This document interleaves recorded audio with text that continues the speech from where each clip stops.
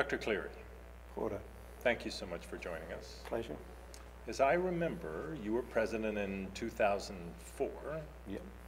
Tell us a little about that year and the challenges you faced.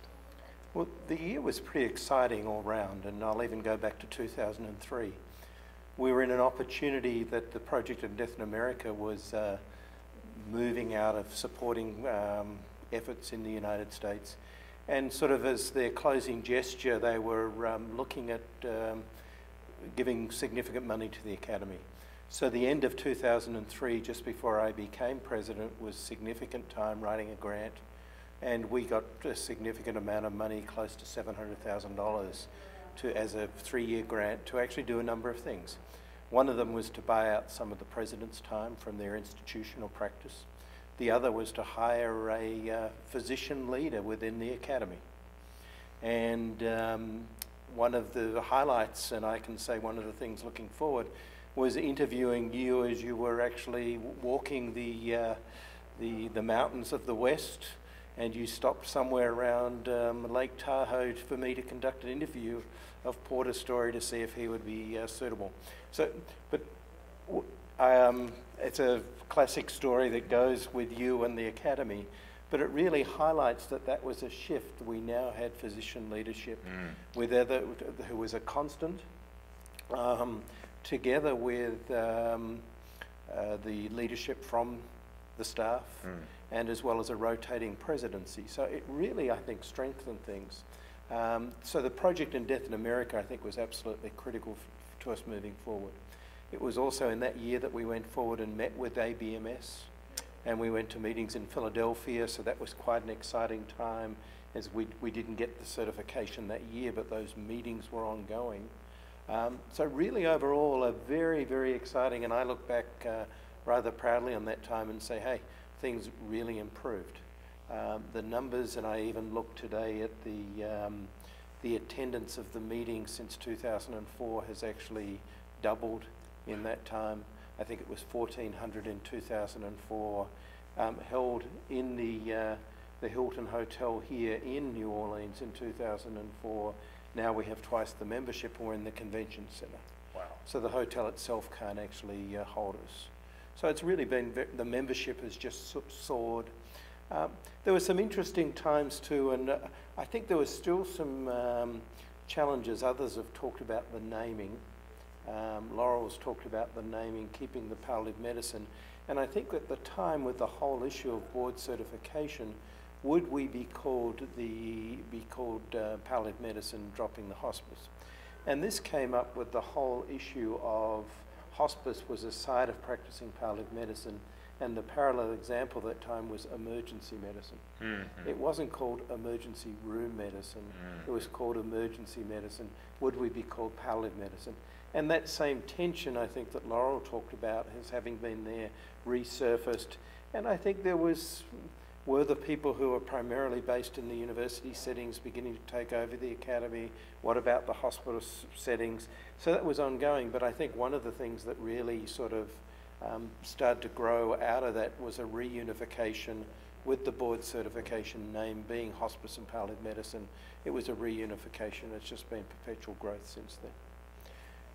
It's been fascinating to see the um, medical director certification come up.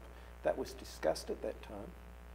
And it was quite a strong discussion whether we should be doing it, but the advice at that time was not to, because it would have confused our ABMS if in fact we'd had two or th- uh, two certifications going through at the same time. So we held back, and I think it's been wonderful to see that come forward now.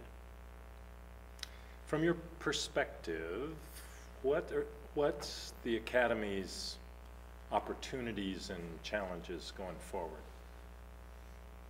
Opportunities and challenges. I think the opportunity is is that as, as healthcare changes in the United States, that there is a real role for palliative care. Um, and it's not just, and I, I'm using that broad concept of palliative care, and in my language I talk about hospice-based palliative care, hospital-based nursing home, but increasingly we're seeing this emphasis on palliative care. So I think that we stand to play a huge role in healthcare as it goes forward. Um, the recent uh, Brill article in Time magazine, The Bitter Pill, really raises the question about the appropriateness of healthcare spending. It's not death panels. Um, not only why are we spending, but why are we spending so much? Beautiful piece. And I think part of that answer is if you inform patients, um, many of them may make the decision not to proceed with expensive therapies that don't really meet the patient's needs. Um, so I think we're going to see a huge change in that regard. The Academy's challenge is going to be keeping up with these changes. Um, how do we grow and continue to grow? I think it's very well situated with the staff. You self, self in this position, the, the president's. A huge change, and this came about with a change in staffing and um, the staffing leadership was really to move to the communities. And that happened when we changed um, executive directors and really made a significant difference to this commu- this real let get community and involve everyone. We tend, I think, to become, become a little too narrow. Mm. Um, let's be really efficient. We really need to be very broad and expansive to engage the membership. So I think that's both an opportunity and a challenge. Um, do you spread yourselves too thin? But how do you keep all people engaged? Yeah, it- definitely looking forward. What characteristics do you think our future leaders are going to need to be effective? Um, patience, um, insight, listening skills. Um, I th- the biggest thing, and I think watching the um, younger generation of physicians come through, is that, um, and I'm reading Seth um, Godin's book on tribes. And I think that uh, when they talk of leadership there, it is the ability to actually um, uh, to lead and not just manage. Mm-hmm. And particularly with the use of social media amongst um, many of us now, these innovative ideas that are come, going to come out and disrupt are not just going to be from the board. And it's really the creativeness of an individual as president, the leadership to actually hear all those things and to be able to guide that through. Because I think that voice is going to become stronger and stronger. And that's really going to be the, the challenge as we sort of look at the relationship between the membership, the communities, and uh, the board. But I think that the environment is set up to handle that. I think the environment that's been created by the Academy will handle this new disruption that comes from the membership.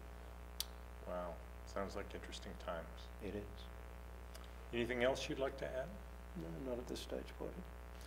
Thank you so much for your past and continuing leadership. Thank you very much. Really Thanks, appreciate it. Gordon.